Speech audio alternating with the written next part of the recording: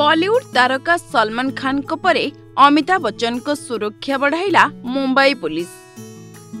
Big ବିଙ୍କୁ ମିଳିଲା ଏକ ଶ୍ରେଣୀର ସୁରକ୍ଷା।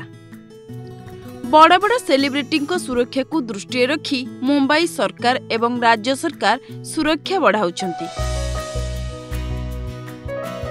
ଗତକାଲି ସଲମାନ ଖାନଙ୍କୁ ୱାଇ ପ୍ଲସ୍ କ୍ୟାଟାଗୋରୀରେ ସୁରକ୍ଷା ଦିଆଯାଇଥିବା ବେଳେ ଏବେ ବଲିଉଡ୍ ସେନ୍ସା ଅମିତାଭ ବଚ୍ଚନଙ୍କ ସୁରକ୍ଷାକୁ ବଢ଼ାଇ ଦିଆଯାଇଛି।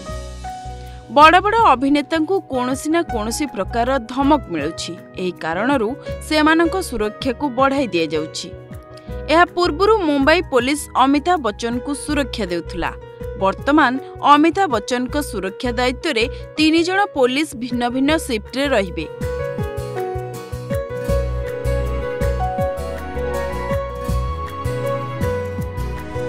ଅକ୍ଷୟ କୁମାର ଏବଂ ଅନୁପମ ଖେରଙ୍କ ସୁରକ୍ଷା କ୍ଷେତ୍ରରେ ମଧ୍ୟ ଏହା କରାଯାଇଛି।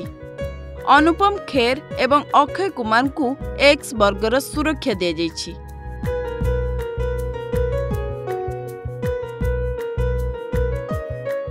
ବ୍ୟୁରୋ ରିପୋର୍ଟ ଓଡ଼ିଶା ସମ୍ବାଦ।